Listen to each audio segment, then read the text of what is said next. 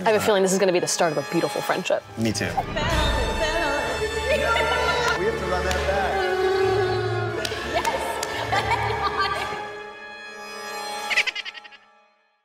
In the beginning of a family affair, Zara has to crash Chris's date to help him break up with a woman he's seeing. What is the optimal day of the week for a breakup? Friday? Really? I don't- I no way. Are you serious? Well, because I assume then whoever's getting broken up with can go like drown their sorrows or something. Tuesday is the best day for a breakup because you've got Wednesday and Thursday to kind of recover, and you have a weekend, and you get drunk and you cry, and then you text your ex, and then like everything. That's Tuesday. That's really important. Thank you. You're so Oh, welcome. f- Jesus. Thank you for telling me that. It's, it's Tuesday. I hate being in the dark about that stuff, so thank you. Okay. In a family affair, Zac's character gives Joey's family some very thoughtful Christmas gifts. They say you shouldn't look a gift horse in the mouth, but what's the weirdest gift you've ever received from a fan or a friend? Oh, jeez. I'm gonna blow up some spots here. The weirdest one would be definitely be from a fan. Tell me. Uh, the ones that are coming to mind, I don't think are safe to say. Mouth it to me.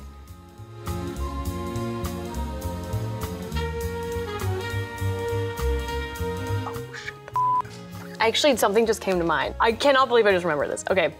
I was like 10 years old and I got gifted this like little high school musical locker no way. that like it was like this big and I would put my pencil case in it and all this stuff and I would press buttons and you would sing to me. Hey!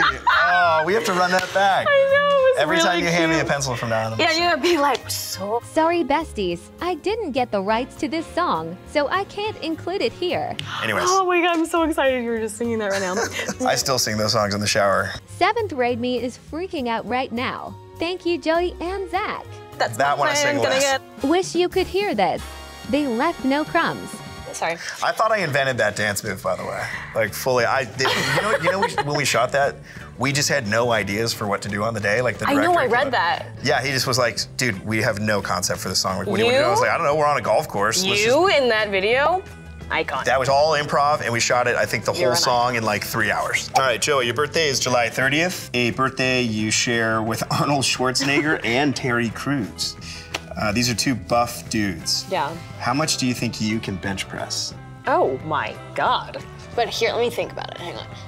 I really don't think I could go more than 50 pounds, to be honest with you. If I that. think you could do 50 pounds. Or I'm may- confident. maybe 60. Oh, speed round. Joy, as an assistant, your character Zara spends a lot of time in traffic running errands for Chris Cole, but when you really are stuck in traffic, you like to sing karaoke in the car with your real life sister Hunter. If you were in a car with Zac and Nicole Kidman, obviously, which song would you choose to sing to the two of them?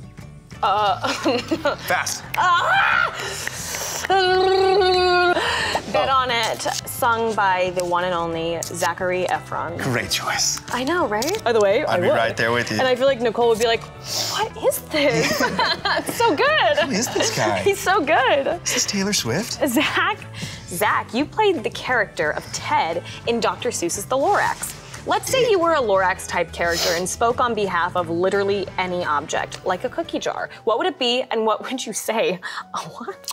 Uh, I would say that cookies are something to be valued, and we need to protect cookies at all costs and put care and love into making them and spreading them throughout the world. That's what I'd say. That's what the Lorax is about trees. Absolutely. And free cookies for everyone. Okay, thank you so much, Bunny. I think we've given you all we have to Yeah. give. We love you. Giving We're- you our hearts and our souls. we cherish you. And thanks for having a removable head full of lovely questions.